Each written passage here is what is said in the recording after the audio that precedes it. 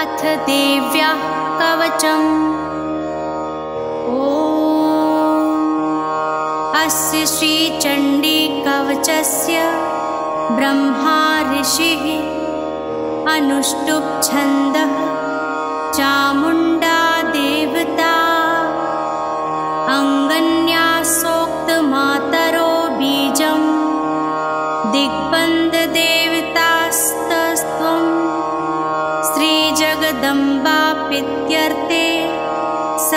सप्तशतीपाठङ्गत्वेन जपे विनियोगः। ॐ नमश्चण्डिकायै मार्कण्डे उवाच। ॐ यद्गुह्यं परमं लोके सर्वरक्षाकरं नृणा। यन्न कस्यचिदाख्यातं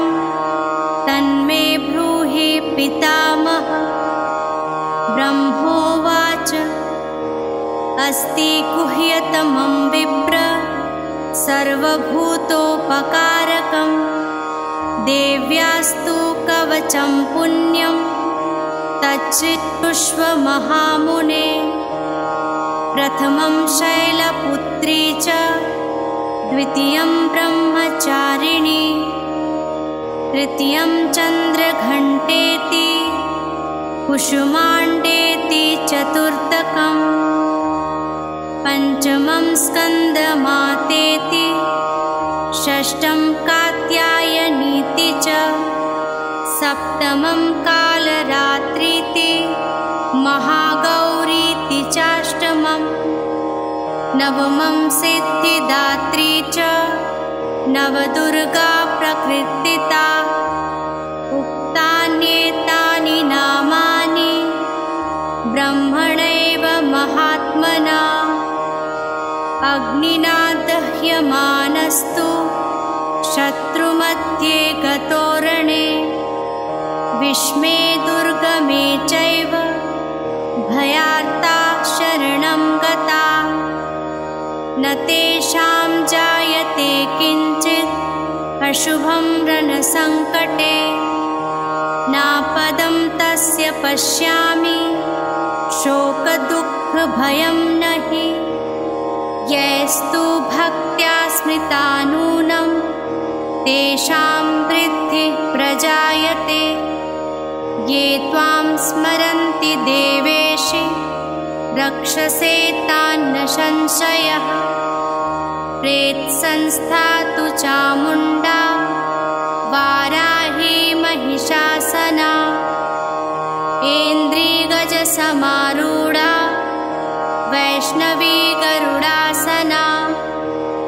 माहेश्वरी वृषारूढा कौमारी शिखिवाहना लक्ष्मीः पद्मासना देवी पद्महस्ता हरिप्रिया श्वेतरूपधरा देवी ईश्वरी वृषवाहना ब्राह्मी हंससमारूढा इत्येता मातरः सर्वा सर्वयोगसमन्विता नानाभरणशोभाढ्या नानारत्नोपशोभिताः दृश्यन्ते रथमारूढा देव्यः क्रोधसमाकुला शङ्खं चक्रं गदां शक्तिं फलं च मुस्लायुधं खेटकं तोमरं चैव परशुं पाशमेव च। कुन्तायुधं त्रिशूलं च शारङ्मायुधमुत्तमम् दैत्यानां देहनाशाय भक्तानां भयाय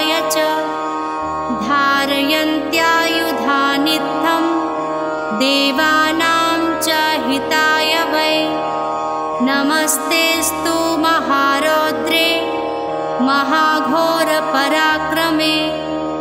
महाबले महोत्साहे महाभयविनाशिनि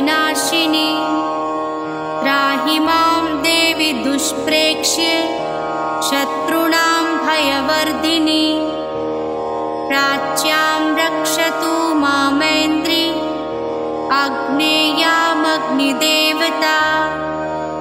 दक्षिणेवतु वाराहि नैऋत्यां खड्गधारिणि प्रतीच्यां वारुणि रक्षे वायव्यां मृगवाहिनी उदिच्यां पातु कौमारी एशान्यां शूलधारिणी ऊर्ध्वं ब्रह्माणि मे रक्षेत्हस्ताद्वैष्णवी तथा एवं दशदिशो रक्षे जया मे चाग्रतः पातु विजया पातु पृष्ठतः। अजिता वां पार्श्वे तु दक्षिणे चापराजिता। शिखामुद्धोत्तिनी रक्षे तुमामूर्ध्नि व्यवस्थिता। मालाधरी ललाटे च भ्रुवो रक्षेद्यशस्विनी त्रिनेत्रा च भ्रुवोर्मध्ये यमघण्टा च नासिके शङ्खिनी चक्षुषोर्मध्ये श्रोत्रयोद्वारवासिनी कपोलो कालिका रक्षे कर्णमूले तुषाङ्करी नासिकायां सुगन्धा च उत्तरोष्ठे च चर्चिका अधरे चामृतकला जिह्वायां च सरस्वती। दन्तान् रक्षतु कौमारी कण्ठदेशे तु चण्डिका। घण्टिकां चित्रघण्टा च महामाया च तालुके। कामाक्षी चिबुकं रक्षे वाचं मे सर्वमङ्गला च पृष्ठवंशे धनुर्धरी नीलग्रीवा बहिः कण्ठे नलिकां नलकूबरी स्कन्धयोः खड्गनिरक्षे बाहुमे वज्रधारिणि हस्तयोर्दण्डिनी रक्षे अम्बिका चाङ्गुलीषु च नखाञ्चुलेश्वरी रक्षे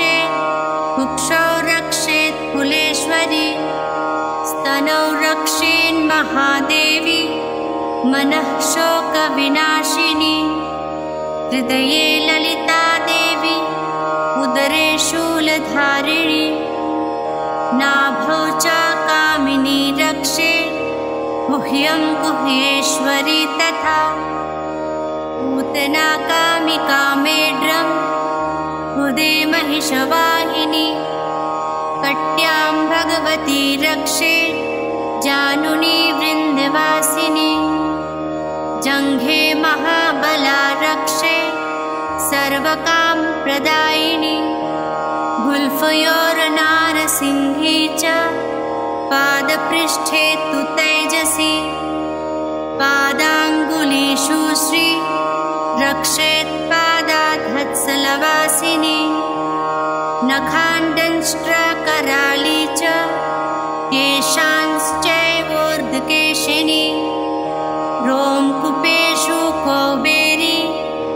वचं बागेश्वरी तथा रक्तमज्जावसामांसान् अस्थिमेदांसि पार्वती। अन्त्राणि कालरात्रिश्च पित्तं च मुकुटेश्वरी। पद्मावती पद्मकोशे कफे चूडमणिस्तथा। ज्वालामुखी नखज्वालां शुक्रं ब्रह्माणि मे रक्षेच्छायां छत्रेश्वरी तथा। अहङ्कारं मनोबुद्धिं रक्षेन्मे धर्मधारिणी। प्राणापानौ तथा व्यान मुदानं च समानकम्। वज्रहस्ता च मे रक्षे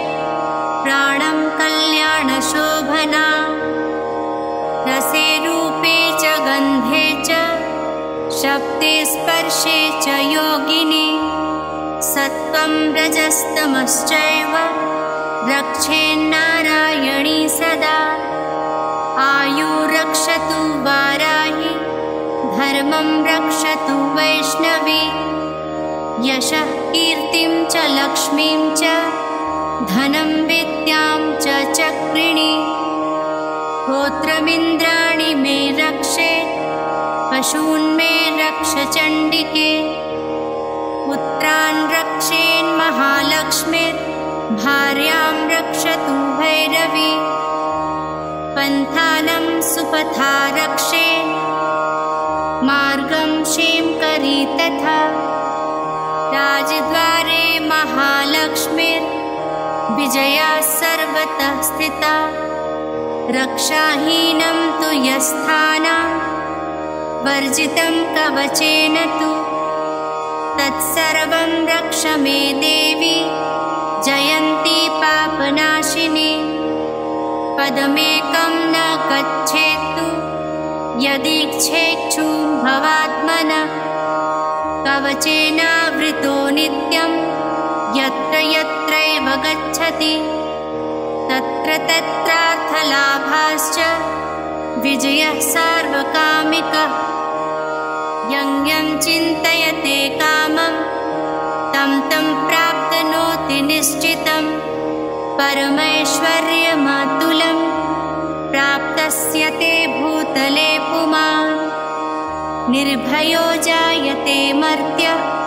सङ्ग्रामेष्वपराजित त्रैलोक्ये तु भवेत्पूज्य कवचेनावृतः पुमान् इदं तु देव्या कवचं देवानामपि दुर्लभम् यः पठेत् प्रियतो नित्यं त्रिसन्ध्यं श्रद्ध्याविन्त दैवीकला भवेतस्य त्रैलोक्येष्वपराजित। जीवेद्वर्षतं साग्रमपमृत्यु विवर्जित नश्यन्ति व्याधयः सर्वे। लूता विस्फोटकादय। स्थावरं जङ्गमं चैव। कृत्रिमं चापि यद्विषम्। अभिचाराणि सर्वाणि। मन्त्रयन्त्राणि भूतले। भूचरा खेचराश्चैव जलजाश्चोपदेशिकाः सहजाकुलजामाला डाकिनी शाकिनी तथा अन्तरिक्षचराघोरा डाकिन्यश्च महाबलाः। ग्रहभूतपिशाश्चाश्च यक्षगन्धर्वराक्षसाः ब्रह्मराक्षसवेताला कुष्माण्डाभैरवादय नश्यन्ति दर्शनातस्य कवचे हृदि संस्थिते। मान्नोन्नतिर्भवेद्राज्ञ स्तेजोवृद्धिकरं परम् यशसा वर्तते सोऽपि कीर्तिमण्डितभूतले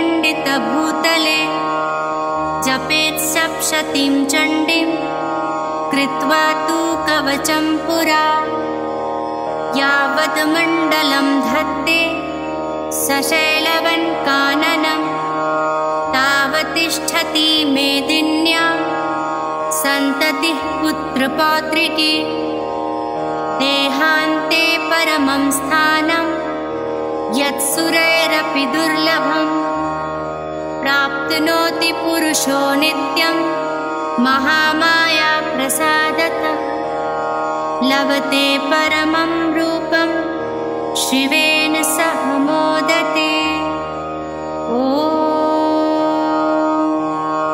इति देव्या कवचं सम्पू